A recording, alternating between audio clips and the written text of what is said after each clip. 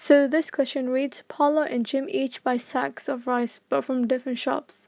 Paula pays $72 for sacks costing M dollars each and Jim pays $72 for sacks costing M plus 0.9 each. So find an expression in terms of M for the number of sacks Paula buys. So that is 72 over M. And for Jim it is 72 over m plus 0.9.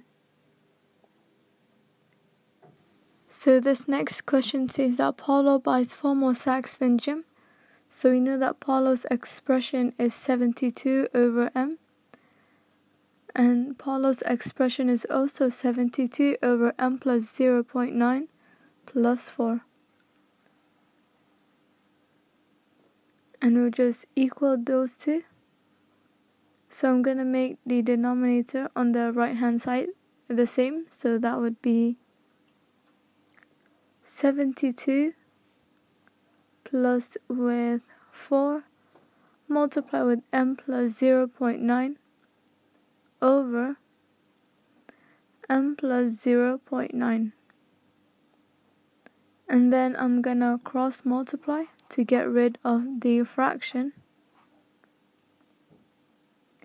So that would be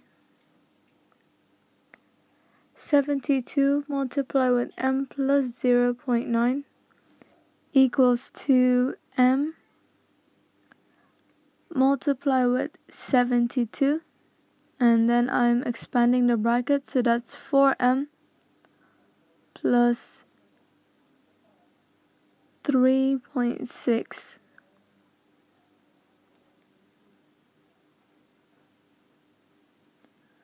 So now I'm just going to expand the brackets on both sides.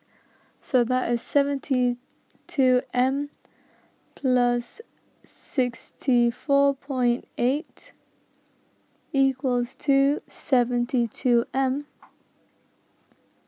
plus 4m square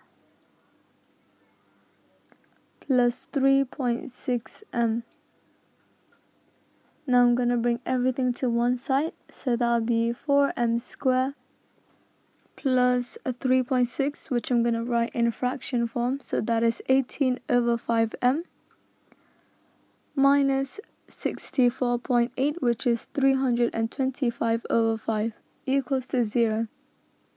So now we're going to multiply this whole thing by 5 to get rid of the fraction. So that would be 20m squared plus 18m minus 325 equals to 0. Now we're going to simplify it by dividing it by 2. So that would be 10m squared plus 9m minus 162 equals to 0. Now the next question wants us to solve it, so I'm going to use the quadratic formula. So that is negative b plus minus square root of b squared minus 4ac over 2a. So our b is 9, so that's negative 9 plus minus 9 square minus 4 multiply with 10 multiply with negative 162 and square root the whole thing over 2 multiply with 10. So that would be a negative 9 plus minus the square root of 6561 over 20. So the square root of 6561 is plus minus 81 over 20. So negative 9 plus 81 over 20 gives you 3.6